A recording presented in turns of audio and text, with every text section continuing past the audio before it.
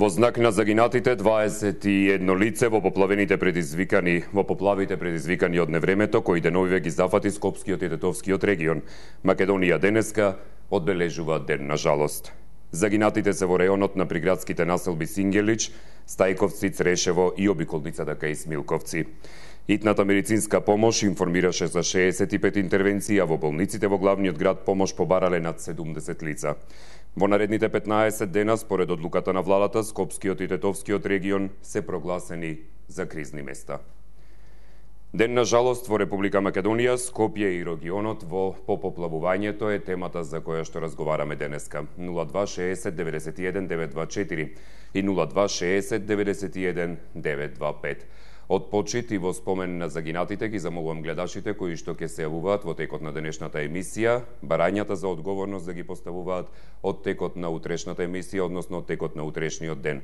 Денес када одмолчиме да оддадеме почит и да ги честуваме оние кои што не оставија и загинаа во текот на ова страшно невреме кое што го погоди Скопскиот регион, едно од најстрашните, уште од времето на поплавата и земјотресот од 62-та, односно 63-та година. Дали имаме некој на линија? Добро, додека да воспоставиме комуникација со некого, дали се слушаме? Доколку имаме некој на линија, може веднаш да вклучиме. Ве слушам, повелете. Само малку погласно држијата, имаме гледач на линија, повелете. Дали се слушаме? Добро, во очекување сме на вклучување гледачи во текот на денешното издание, каде што зборуваме токму за она што се случи во саботата спроти неделата во Скопскиот регион, исто така и во Тетовскиот, каде што најпогодени предели беа деловите на Скопје, односно во пределот на населбите кои што се ногиат околу обиколницата на Скопје. Дали имаме некој на линија? 0260 91 924 0260 91 925 се телефонските броеви на кои може да ни се јавувате. Добро, се обидуваме да воспоставиме комуникација со луѓето кои што сакаат да изразат сочувство јавно во текот на ова издание на емисијата Очи во очи. Дали се слушаме со некого? Во текот на оваа емисија ќе ви ги прочитам и пунктовите каде што може да се а, прават донации, впрочем, додека да ме известат од режијата дека имаме некој на линија. Во Скопје пунктови каде што може да се вршат донации се МИТ Универзитетот во Центар и Сити Галери од 10 до 17 часот. Поранешен Житолукс на улица Иван Аговски број 10 во Карпош 1. Сите основни училишта во општината Аеродром од 8 до 20 часот.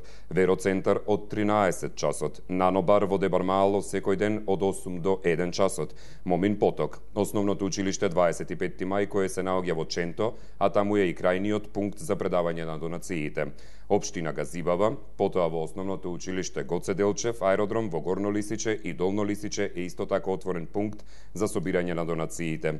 Денеска од 8 до 22 часот. Останатите веднаш погледачите. Добар ден. Добар ден. Ве слушам, повеле се извинувам, не требаше добар ден да кажам, но навика. Повелете. Поздрав за тебе и екипата и гледачите. Повелете. Длабоко, длабоко, длабоко чувство до загинатите и нивните семејства што ќе дојде од Господ, добро дошло. Ама кога дојде од човек, тоа е многу лошо.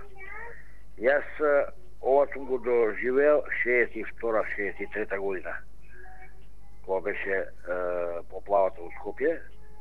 Имено э, некња кога почна да врне со таков идентитет, очекува и кај нас во меѓу општина Старе, тоа е меѓу скопите тоа, нели? Тогаш што э, голема површина э, од Тетовски и Скопско се прелива кон нас овдека. Меѓутоа, покрај таа несреќа, има и среќа што луѓето не ги обработуваат површините, земјишето тоа е све смрека, све а, капини, тие работи трња и колку толку тоа не брани. Иначе очекувам и кај нас да мене кај што ми е куќата, памтам 62 година најсен кога беше, до овде каде ка беше водата. И буден бе, ама викам што ќе дое, тоа е тоа. Толку би имал за овај пат и Господ дека им помогне на, на тие што останале живи и нивните семејства. Поздрав до вас, благодарам за јавувањето. Дали се слушаме со некој друг, повелете?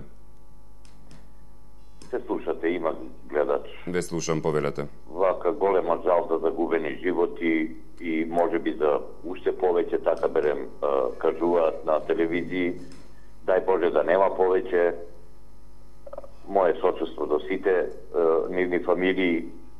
Ова е трагедија која може би се случува некаде, било каде во светот, па еве и кај нас и на 100 години, барем така можам да, да кажам јас со вако моje мислење. Сега слушате и многу многу работи кои не треба сега во вакви моменти да се да се зборуваат. Ке имаме денови за тоа да зборуваме. Да, да, разбирам. Не, не, не, не сакам јас да зборувам за тоа. Так. Сакам да кажам тоа не е убаво на на овој ден и на целашниот ден да сака да се каже кривица на некого. Нема кривица, врематска непогода и точка. Толку од мене жално е, жално, но што да правиме? Тоа ни е секогаш е, е, во ова наша Македонија е, некако врзано во крче, така вела кај нас, да ни се случуваат некои работи што никаде нема да се случат во таков размер, а кај нас се случува. Благодарам. Благодарам, поздрав и до вас. Пункт за оставање и за подигање донации има во Инджиково кај автобуската кај игралиштето. Хуманитарната организација Свети Спас од Драчево. Информации на телефон 078 383 743 барајки го Отец Оливер. Кисела вода пред маркетот Веро од 8 до 20 часот. Крстевски мјузик, тричлено семејство на 2-3 дена може да биде вдомено на, телеф... на имейл адресата крстевски долна цртичка мјузик мајмунчејаху.ком. Од понеделник, 14 часот на големиот паркинг пред Борис Трајковски. Исто така може да се остават донации. Понатаму, Кет Кафе, Карпош 3, денеска и утре од 19 до 24 часот. Сојуз на стопански ком комори само за компании на булеварот Митрополит Теодоси Гологанов. Еден или преку контакт телефонот 02 30 91 440 од 9 до 17 часот. Исто така, Мај Маркет во населба Илинден од 8 до 22 часот и Легис, Чаир, улица Џон Кенеди кај Веро од 9 часот до 18 за останатите градови во продолжение погледачите. Повелете. Првим голема благодарност према тебе што така ја почна емисијата. Значи, ова е библиска работа, Огнен. Јас имам 70 години, не памтам нешто вакво да се случило. Имам десетка метеорологија, бидејќи сум агрономишинер, и да падне 100 и кусуро литра за пола сат, тоа не, мож, не се случува ни на Флорида. На Флорида ја предвидуваат цунамето и се припремат. И така јас мислам дека и метеоролошката станица кај нас, са неќам да критикувам овај ден ништо, требаше нешто да предвиди. Дека ќе има некоја некоја водена дупка, Так. каде што на пример 100 литра овој дош како огромни жена ја сакам да падне во Свети Николе или во во Црвена звезда каде што има по 100 литра годишно дош. Таму ќе имаше благослов. Значи и втора благодарност што е, вашава телевизија и нова само тие две телевизии спаднаа сериозни. Канал 5 имаше музика. Сител имаше турска серија. Телма имаше музика. Значи, вие спаднате ефер и Нова ТВ. И за тоа е на голема, голема благодарност. И, од твоја страна, денеска не треба значи, партиски напаѓања кој е крив, кој е за ова, тоа ќе каже и времето понатаму, бидејќи тој на Реон го познавам 40 години работев таму и на крајот сакам да се благодарам а, да им додам сочувство на сите овие кои погинаја Божја сила што да правиме. Пријатно. Благодарам и поздрав до вас. Дали се слушаме со некој друг, повелете?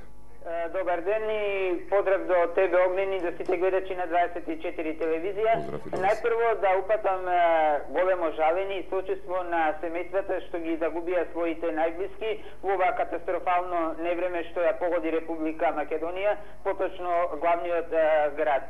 Ова мислам дека јас не сум доживеал во моите 38 години колку што ги имам да се случи ваква катастрофална несреќа, вакви поплави, да се истори за толку кратко време толкаво количество на вода на еден дел од Скопје, бидејќи јас живеам во Ѓорче Петров, значи и тука врнеше, ама толкави поплави од толкав размер немаше, само подземните, односно подрумите се поплавија малку, но тоа не беше ништо во споредба со а, другиве работи. И ќе кажам а, дека во начинот на известувањето националната телевизија сосема потврли и а, на денот на не, вчерашниот ден сосема кратки е, блокови даваше за ова, е, мислам дека една национална телевизија не би требало така да се однесува во вакви критични е, моменти и на крај ќе кажам владеачката партија да не го користи ова за политички Затоа ќе зборуваме од утре. Поздрав до вас. Следен на линија повелете. Добар ден. Ве слушам, повелете. Не е добро, грешев. Да, повелете. Значи, јас сум проблемот, да? Да, да, вие сте, повелете. Сакам да кажам пред малку господина што се јави што бил метеоролог. Имам јас едно искуство од Америка, имам шанса да преследувам таму летото 2012 година. Кога ќе работам не таму, шефојте на, на телефонот гледа и ќе не кажувај утре од 9 до 10 ќе врни ќе дојдете на, на работа во 11. А кај нас во метеоролошка станица не може да предвида вакво невреме од вакви размери кога идеше во 2012 на источниот брег во Америка ураганот Сенди, две недели се трубеше по телевизија, нонстоп имаше канал отворен, луѓе да се припремаат за гориво, за агрегати, за вода, за прехранбени намирници, за се. И се случи ураган од невидени размери во човештвото дотогаш и не знам, имаше многу малце жртви. Ова да се случи во Скопје, да однеси толку жртви, одговорноста рекла ќе правим ова друг ден. Yeah. Читав пред малку во Торонто 2013 година заврнале 126 литри за 2 часа, ни една жртва, никакви поплавини. Значи луѓето си работат својата работа овмен. Јас се надевам дека овој народ кој ќе го направат оне кафе во Золошкава градина 230.000 Ве за тоа ќе зборуваме од утре таму, ве молам. Значи, воздржете се од какви да е коментари кои што се поврзани со кафези, бронзи, скулптури и слично.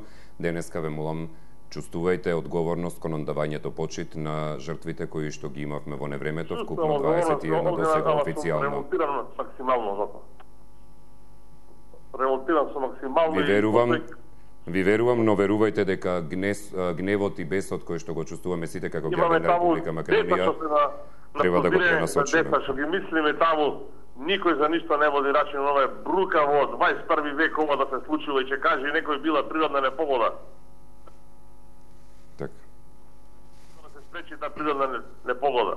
И сношти се књапта таму да ќе прателе 120 пумпи или 150 пумпи. Благодарам, пријатно да ја во време. Пријатно и поздрав до вас. Го разбирам на сите гневот и бесот кои што го чувствуваат. 21 жртва, па дури и една да беше воопшто не е малку за настани како што се случија во изминатите два дена. Затоа ве молам воздржете се барем на овој ден. Од утре натаму имаме денови, имаме доволно емисии каде што ком можете да си го искажете сето она што го мислите во овие два дена. Дали се слушаме со некого повелете? Да, добар ден. Повелете предпоставувам дека луѓето се многу револтирани mm -hmm. и користат ова јавување малку и одишка на душата да си дадат. Затоа и ја оставивме емисијата да, да оди во живо, да не пуштаме ништо друго за да може луѓето сепак да се јават. Така. Сочувство значи до сите семејства што загубиле во поплавите член на семејство, меѓутоа на некој начин сочувство и до сите оние што настрада во ова материјално што настрадаа, бидејќи се премногу огромни се штетите.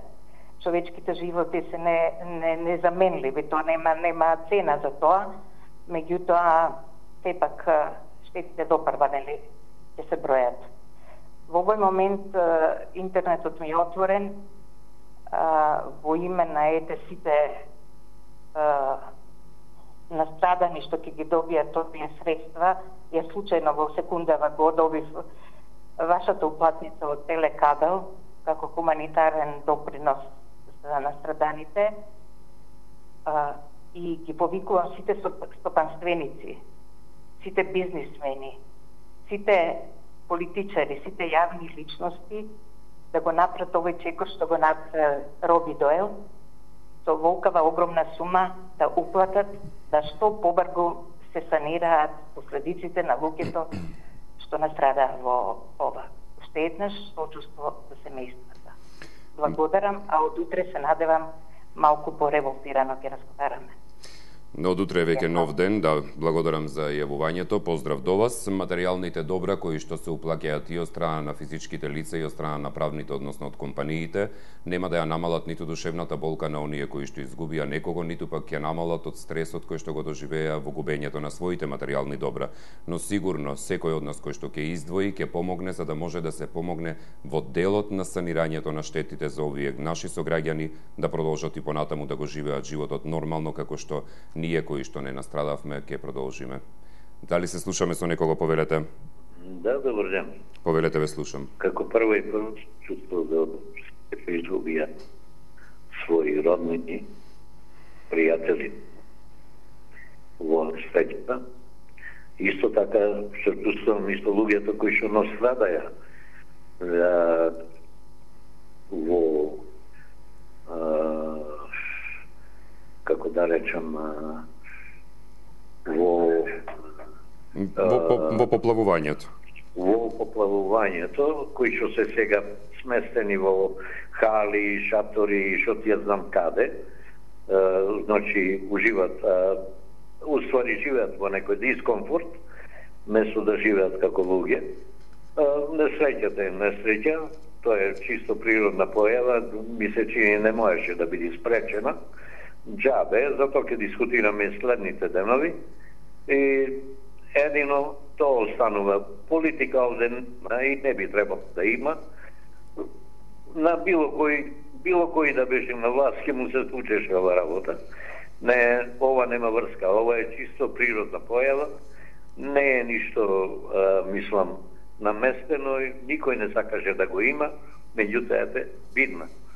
Така да толку од мене, не, не би можел повеќе како да го објаснам ова нешто.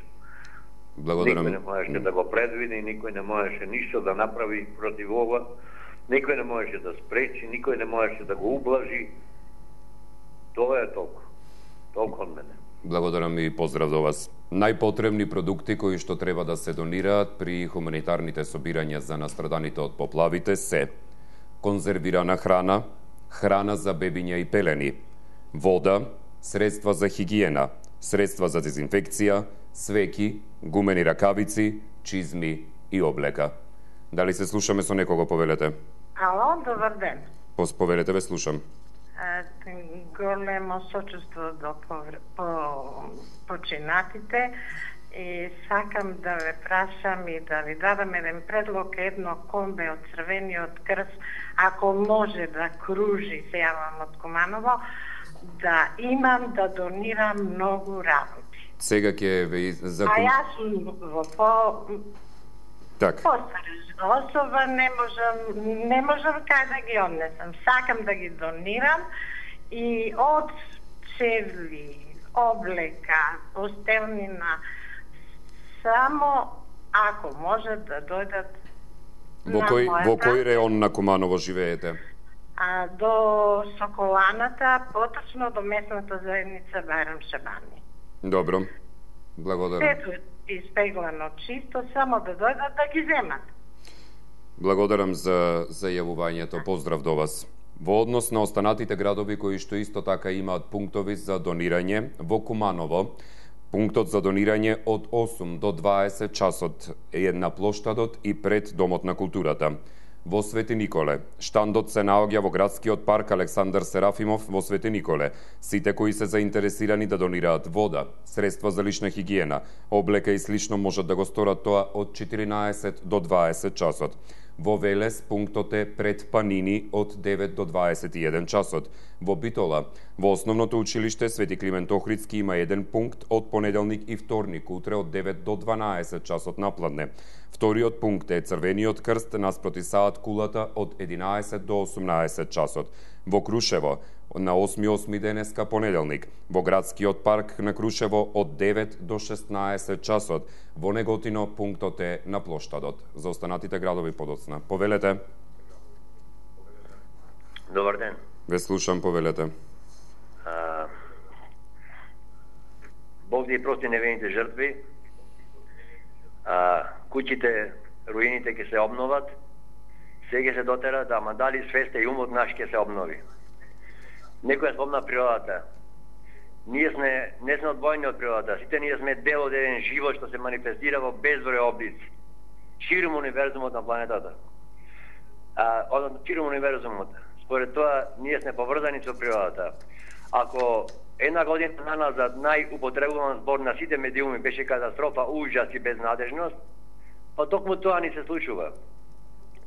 Ужас, безнадежност и катастрофа. Мериленд Естейт е држава во Америка. Има одводни цевки каде што кошаркарите можат да и пол метра. Имам другар таму во водоотравот. Но, се случи истото, само еден сат, два траеше подолго, кој што се случи кај нас. Слепери летае како лушпи од дорев по улиците. Пливае. Значи, да престаниме да се критикуваме, последни минути се за... Ке ве замолам од утре тоа да го кажувате. Па токму тоа ја го прифаќам од вас. Ја прифаќам од вас. Тогаш не го применувајте доколку го прифаќате. Значи да да да почнеме да се почитуваме еден со друг. Ви благодарам за јавувањето. Следен на линија повелете. Добар ден. Повелете ве слушам. Сакам да изразам прво сочувство за загинатите. Нека им Господ на нивни фамилии дае спокој, да им дае сила да издржат сето тоа. Повредените да оздрават што побргу.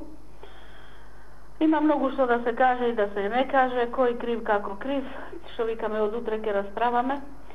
Едно ме само радува доколку се дојдени тимови од Србија, како што се најавува, дека дошла за помош Белкин, ќе им дадат малку подобра координација како се работи, бидејќи они прошла година има огромни поплави, нели, Обреновац.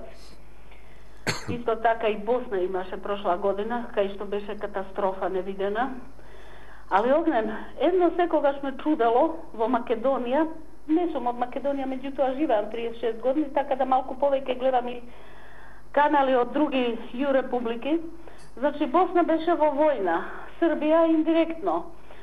Со беше и нападната од НАТО. Меѓутоа сигурно сите сте виделе емисии кои што се занимаваат со хумана помош на луѓе и во катастрофи и во сиромаштија, кои изградуваат цели куќи. Моментално на една друга телевизија во Македонија тече емисија куќа за 31 ден кај што се гради за деца без родители. Значи сите помагаат, сите фирми, диаспора.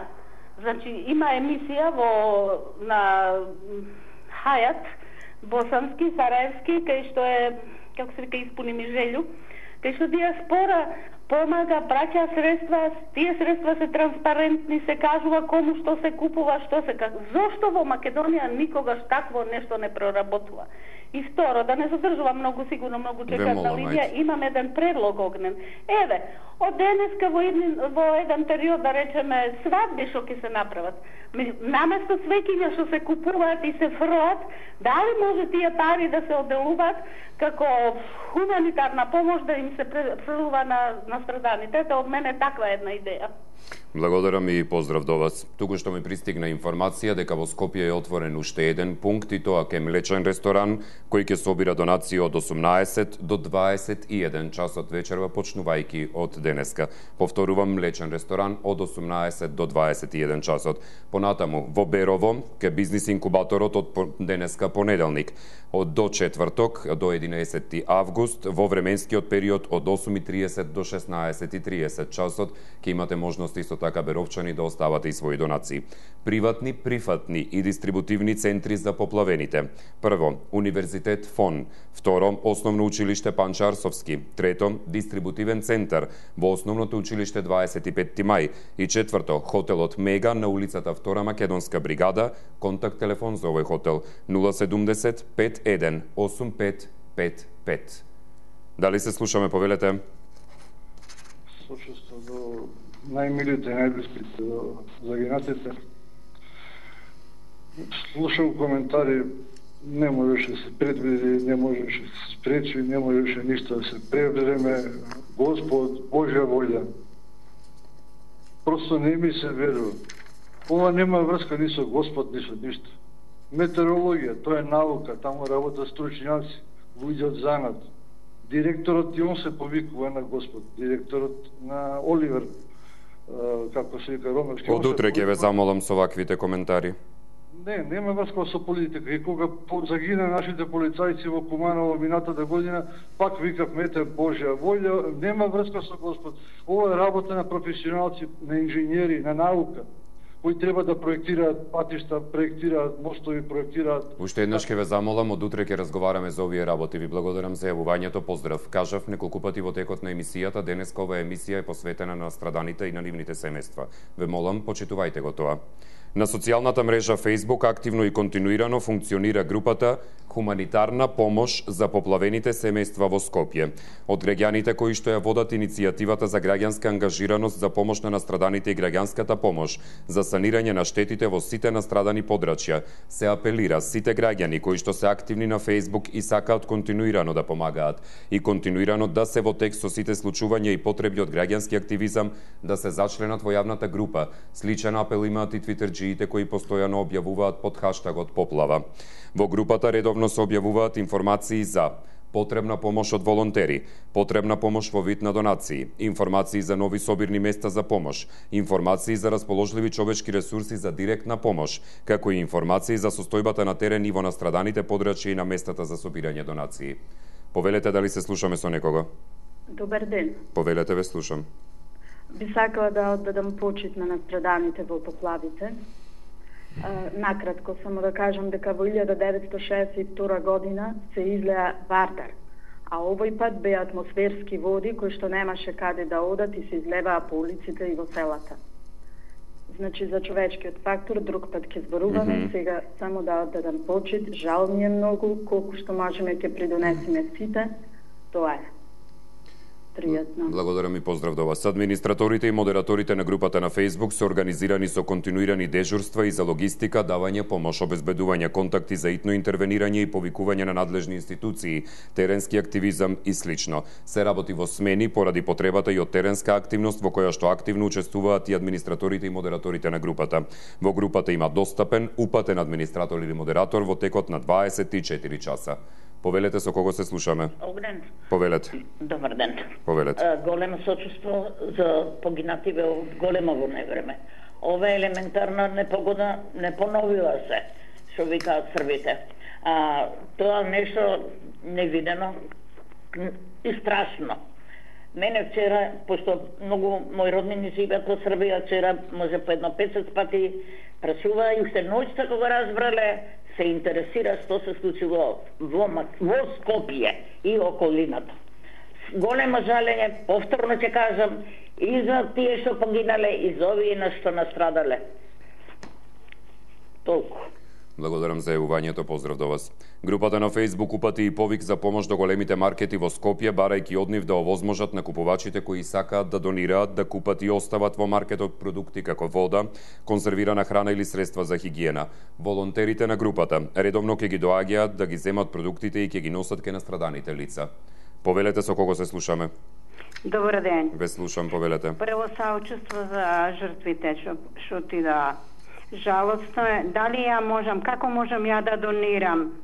Од каде сте? Настраданите. Зашто ја немам мобилен, а ми е исклучено на фиксниот мобилен Од каде сте, кажете ми? телефонот. Мобилни телефони. Од каде сте? Од каде сте од Македонија? Од Скопје сум јас. Од кој реон на Скопје? Автокоманда. Во автокоманда? Да. Mm -hmm.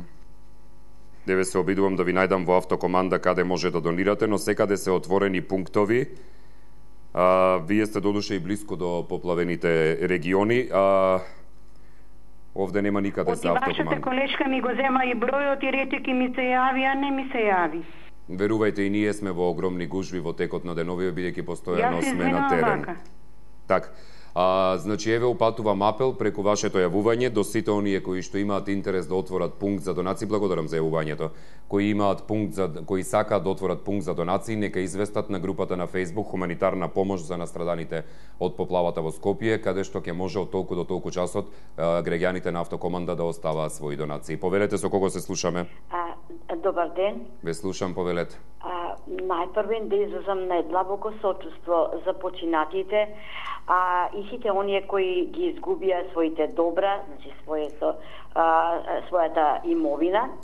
А да кажам дека пред 4 дена само зборувавме на таа тема а, при отворање на изложба за нашата Фукушима и можам да кажам дека имаме огромни поздрави и желби за брзо опоравување и Дали се слушаме се уште? Се исклучи гледачката, дали понатаму имаме некој на линија, повелете? Дали се слушаме со некого, повелете? Добар ден. Повелете, ве слушам.